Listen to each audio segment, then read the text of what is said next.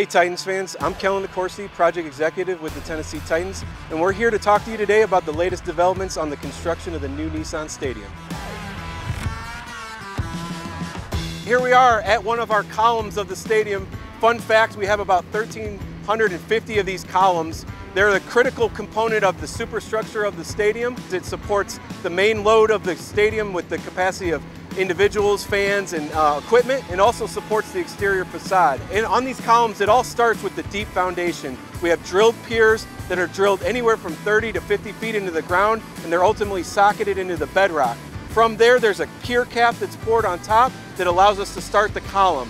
You'll see we have the column here with the rebar cage, and then ultimately we come back and wrap that with a formwork, which you can see over here, an example of that, and then we pour them.